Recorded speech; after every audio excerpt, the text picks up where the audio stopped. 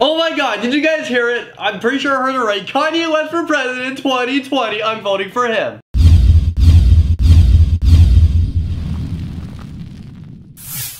Hey, what's up you guys? I'm Landon and I'm super excited right now because Kanye West just announced he's going for president. So if it was Kanye West versus these nuts, who would you guys vote for president? Let me know in the comment section below. Or would you guys still vote Donald Trump or Hillary Clinton? So during the 2015 VMA MTV Awards, Kanye West took the stage. Very emotional time. Taylor Swift awarded him with the Vanguard Award. This is a lifetime achievement and it was renamed after Michael Jackson. It was renamed to Michael Jackson Video Vanguard Award. And he went on saying that before he came on the show, he rolled one and he started smoking. Was he referring to smoking weed? Did he just tell the world he smoked weed? And then he's telling the world he's going for president? Hell yeah, you got my vote. All right, I'm just kidding. I'm not really supporting the whole weed thing. It's just, is Kanye West actually going for president in 2020? I mean, Donald Trump is for president. That's somewhat of a joke to some people. And then you have these nuts. So Kanye West's speech was very long, and I'm talking about longer than long. If he did a speech during the Oscar, he would have had music playing, security guards just escorting him out there. But in this speech, he went on very emotional, but you know what? There was times where he was smiling during his thing. I mean, this is Kanye West. He doesn't do that. We don't see the guy upstage smiling. And then it flashes to Kim Kardashian, and right beside her is Taylor Swift. So I think they've squashed their feud. Well, let me know if you guys seen this performance. What did you guys think? Do you guys think Kanye West is a better person? I mean, he creates amazing music. Well, some of you guys don't like it, but I do. But as a person in the past, he's been horrible. Has he changed? Let me know your thoughts in the comment section below. Thank you so much for watching. Hopefully I'm not overloading you guys too much, but today's the VMAs. It only happens once a year. And we get back to regular videos tomorrow. I have a regular Monday video for you guys, so I'll see you guys then.